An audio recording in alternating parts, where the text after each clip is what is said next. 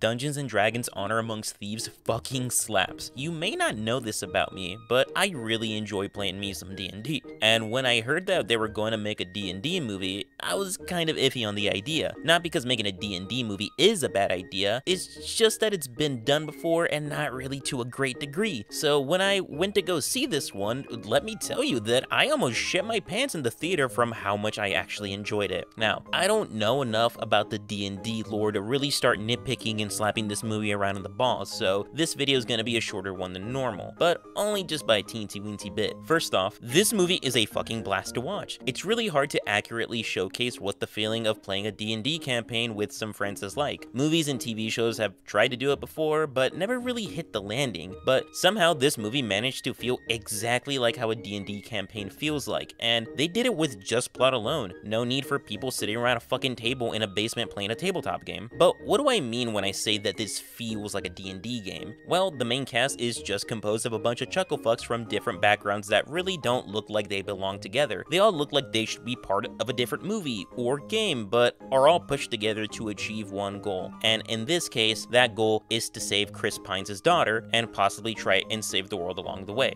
This movie should not have worked by any means, and yet here I am rimming this movie's asshole because that's exactly what this movie deserves. Chris Pine is in this movie as its lead, and let me tell you that when you ask me what actors or actresses will star in a D&D movie, Chris Pine is not somebody that I would think of at all. But he does a really good job. He's a charming little fuck that weasels his way out of every situation that he's been in, kind of like the real Chris Pine, and that heavily goes into the plot. And I love that. He's just a guy trying his best, and I really like that a lot about him. The Fast and Furious lady is here as well, and god damn that I like her character a lot in this movie. She's a fucking badass that steamrolls through everything and everyone that steps in front of her, and you would think that somebody like her wouldn't really have a lot of things going on, but there's actually a lot of depth to her. Well, actually, every character in this movie has a lot of depth to them. Like every game of D&D, every character has their own little backstory that explains how they got there or why they want to go on this quest. I know that's usually how it is in every fucking story ever told, but it's a lot more special when it comes to D&D. When you make your own character, a lot of the times people put in a bit of time and effort to carefully craft their character, and you can really feel that in this movie. Every character feels special in their own way, and that's nice to see. I'm actually really trying hard to think of something that is not as positive to say, and it's kind of hard because I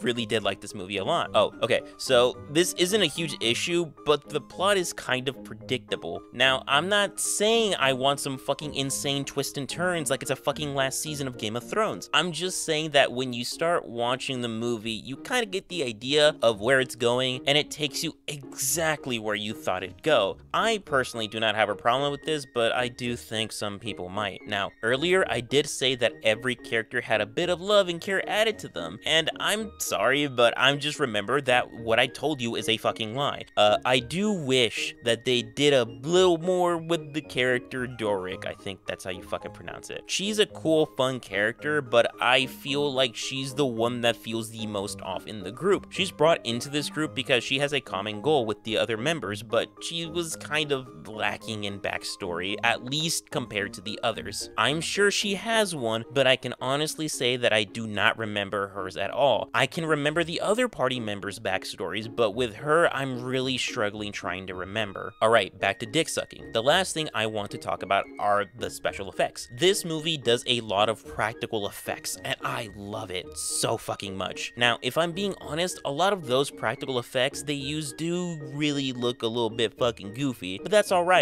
Because of that, it kinda has a lot of charm to it, and I'd much rather prefer this than having really shitty looking CGI characters. Overall, I fucking love this movie. It's not a perfect one, but it is a fun one that has a lot of heart to it. So I'm giving Dungeons & Dragons Honor Amongst Thieves a juicy 8 out of 10. This was an absolute surprise, and I really hope they do make a sequel. Whether I want these characters to return, I'm not really sure yet. It would be cool if they just continue to make more of these movies with new characters for every movie, kind of like how a D&D campaign has a bunch of new chuckle fucks for every new campaign started. But those were my thoughts on the movies. What did you guys think of Dungeons & Dragons? Did you like it? Did you not like it? Let me know down in the comments. I'd love to know. Anyways, thank you all for watching. It means a lot.